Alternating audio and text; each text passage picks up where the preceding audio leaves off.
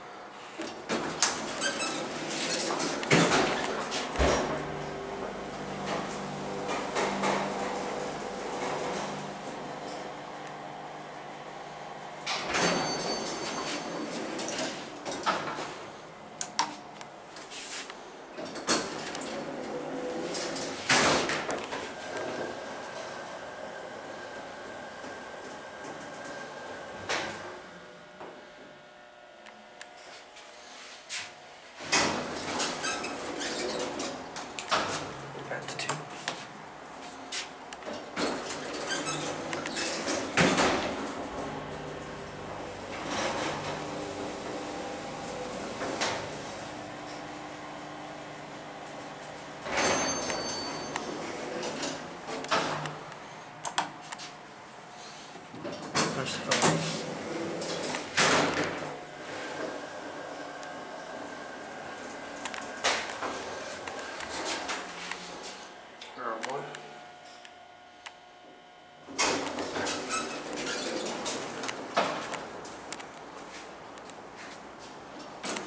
There it goes.